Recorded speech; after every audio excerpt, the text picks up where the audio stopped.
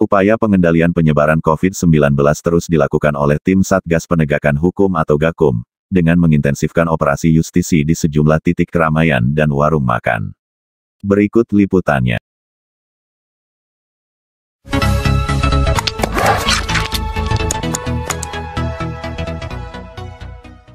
Tim Gakum COVID-19 Kota Parepare melakukan operasi justisi di beberapa titik keramaian dan warung makan minum. Operasi yang dipimpin langsung Koordinator Penanganan COVID-19 Kecamatan Ujung Kota Parepare, menemukan sejumlah pelanggaran protokol kesehatan. Petugas memberikan sanksi tertulis kepada pemilik warung makan yang tidak patuh terhadap protokol kesehatan sesuai aturan Perwali nomor 31 tahun 2020 tentang penegakan disiplin protokol kesehatan. Tim Justisi juga membubarkan kerumunan sejumlah komunitas motor serta tenaga kesehatan yang masih asyik nongkrong di Taman Mati Rotasi, Kota Parepare. Petugas menemukan tenaga kesehatan nongkrong menggunakan fasilitas kendaraan milik pemerintah.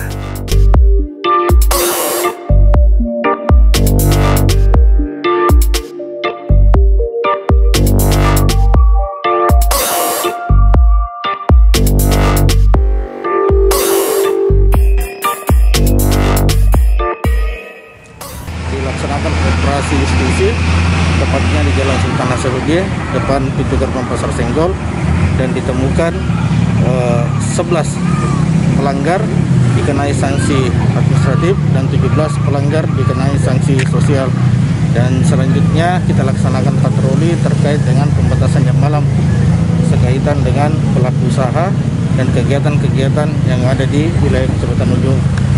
Dari patroli itu kami menemukan dua pelanggar pelaku usaha masih membuka uh, dan melayani uh, makan di tempat makan di tempat sebanyak dua tempat usaha dan kami berikan teguran tertulis selanjutnya terkait dengan sarana publik yang digunakan oleh komunitas masyarakat baik komunitas pengendara maupun komunitas masyarakat itu kami lakukan pembubaran sehingga tidak ada kegiatan di atas jam surat edaran yang berlaku. Tadi Pak ada juga tadi dibubarkan orang kesehatan Pak. Ya terkait orang kesehatan ya kami lakukan peneguran. Kami berharap eh, setiap aparatur pemerintah dapat memberikan contoh yang baik, terutama penggunaan sarana atau fasilitas eh, pemerintah seperti kendaraan dinas. Dari hasil operasi yang dilakukan, tim justisi menemukan sedikitnya 11 pelanggaran tidak menggunakan masker serta dua lainnya adalah warung makan minum yang masih buka di atas jam 21 waktu Indonesia Tengah. Dari Pare-Pare TV Pare.